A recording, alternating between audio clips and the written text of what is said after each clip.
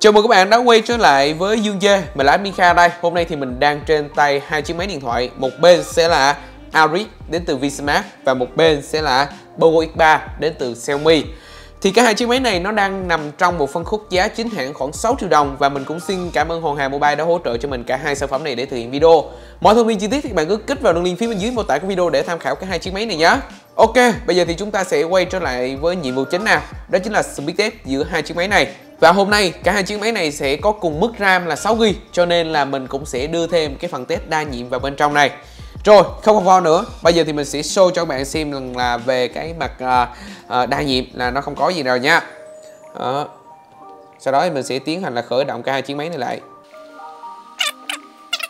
Bây giờ thì à, chúng ta sẽ tiến hành đi vào phần speed test luôn các bạn nhé. Show lại cho bạn xem một lần nữa về phần đa nhiệm này. Đó. Rồi, bây giờ thì chúng ta sẽ tiến hành mở app Antutu lên trước này. 1 2 3. Ok, như vậy là trên cái chiếc Vsmart Aric đã vào trước rồi Và với giao diện là thuần Google thì cái ưu điểm của nó cho ra là rất là rõ rệt đúng không? Ở đây thì mình sẽ show cho bạn điểm số này 78 và 67 000 điểm Nó trên lệch nhau khoảng 10k điểm như thế Thật ra thì um, cá nhân bản thân mình thấy thì nếu như mà để ý về thông số thì chúng ta mới thấy được uh, mới cân đo đong đếm thôi chứ còn trải nghiệm thực tế cho ra nó vẫn là tương đương nhau. Và bây giờ thì chúng ta sẽ đến với tựa game Zombie The Tsunami 1 2 3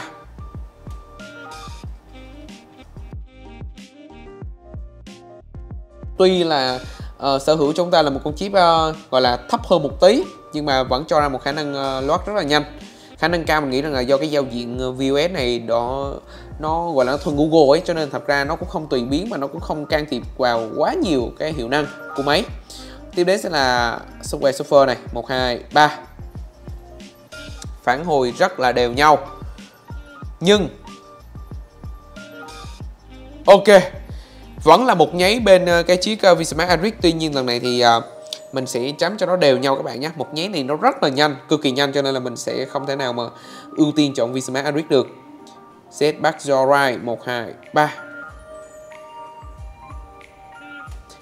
Và trong video này các bạn có thể thấy được là cái độ sáng trên cái chiếc Vsmart Aris nó cũng sẽ nhỉnh hơn so với lại trên cái uh, chiếc uh, Poco X3 này. À, Tại vì rõ ràng thì với cái tấm nền AMOLED của cái, cái chiếc Vsmart uh, thì nó sẽ có lợi thế hơn về mặt uh, kể cả là độ tương phản màu sắc nữa nó cũng sẽ khá là rực rỡ. Nhưng mà mình thì mình lại không thích một cái màn rực rỡ như thế này. À, mình sẽ lựa chọn cái chiếc Poco X3 hơn về cái phần màn hình. Rồi thêm 2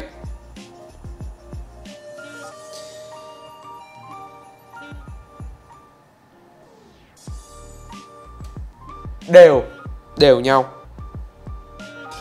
Ok. Len VS Zombie 2 các bạn nhé 1, 2, 3 Đây là tựa game nặng đầu tiên uh, trong cái series Speed Test của mình. Đó. Uhm. Đối với lại giao diện mà có trên uh, chiếc Poco X3 là MIUI 12 thì mình thấy rằng là cái sự uh, gọi là về cái um, cái khả năng đa nhiệm cũng như là tốc độ load nó không thật sự ấn tượng cho lắm. Và Tiếp đến là Alpha 8 này. 1, 2, 3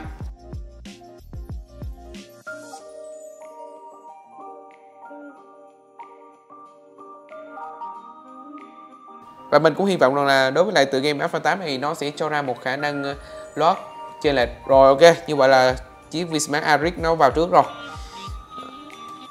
Tiếp đến sẽ là Angry Bird 2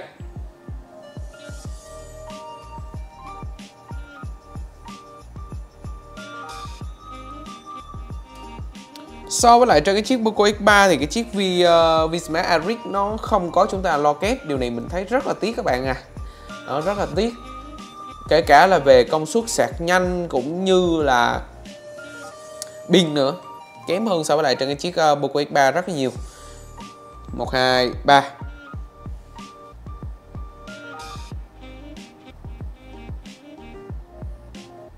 đều nữa này từ game cuối cùng Candy Crush Saga 123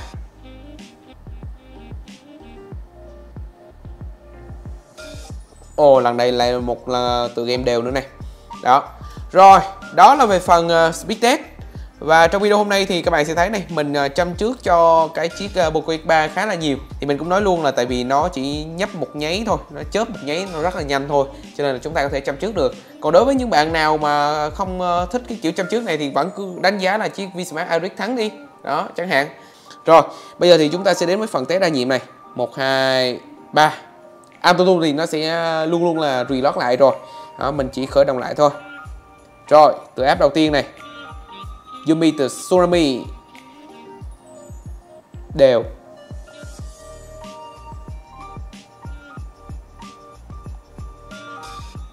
Ồ, oh, trên ờ, uh, Vsmart Arik là software software là nó không reload này. Jetpack nữa này. Đó. Tiếp tục là Temrin này.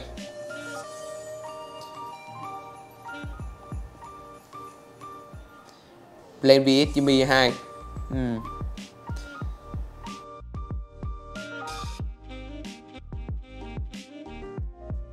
Đót lại rất là rõ ràng luôn các bạn à. F phần 8 này Ồ oh, Như vậy thì các bạn có thể thấy được rằng là về cái mặt uh, tối ưu cũng như rằng là um, MIUI 12 nó nặng thật sự các bạn à. Đó, ui. MIUI 12 thì hầu như là nó reload lại hết Ok, như vậy các bạn có thể thấy được rằng là về cái mặt đa nhiệm thì trên cái chiếc Vsmart Aris tốt hơn rất nhiều so với lại trên chiếc Vsmart à, à, so với lại trên cái chiếc Poco X3. Thì đây cũng là một cái tham chiếu mà mình hy vọng rằng là đối với những bạn nào mà có cái nhu cầu mà uh, thao tác đa nhiệm nhiều ấy Thông qua video này có thể lựa chọn cho mình một chiếc máy phù hợp, một chiếc máy thuộc phân khúc giá chính hãng khoảng 6 triệu đồng. Đó. Rồi, ok, và đó là những gì mình muốn gửi đến cho các bạn trong video ngày hôm nay. Còn các bạn, các bạn nghĩ sao về cái hai chiếc máy này? Nếu như là các bạn thì các bạn sẽ lựa chọn Poco X3 NFC hay là Vsmart Aris thì xin hãy để lại ý kiến của mình bên dưới phần bình luận video nhé. Còn bây giờ thì xin chào và hẹn gặp lại.